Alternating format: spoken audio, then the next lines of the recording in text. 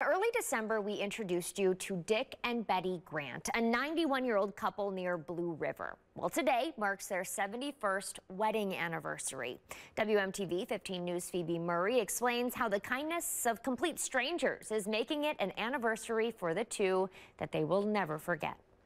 71 years ago, on New Year's Day, Dick and Betty Grant tied the knot. To ring in the new year and celebration of another year of marriage, complete strangers inundated the two with cards following an appeal from their youngest daughter, Becky. We have received cards from all over the country Iowa, Florida, Tennessee, Illinois, Texas, New Mexico, Indiana, California, and Washington, to name a few.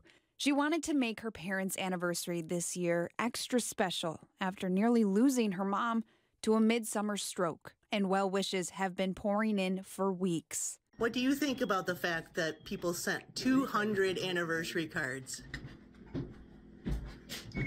I call that amazing. 200 to date, and Dick guarantees more will be arriving tomorrow. It's just been so heartwarming to know that people can get on board with such a simple yet so meaningful project to show companionship and love and support. Betty said the secret to 71 years of marriage is respecting each other. It's just overwhelming. It is overwhelming. And my family thanks everyone who contributed. A new year with a lasting love story. Phoebe Murray, WMTV 15 News.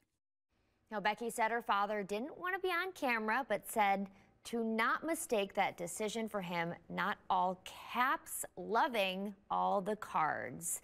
A big, big happy anniversary to the Grants on this New Year's Day.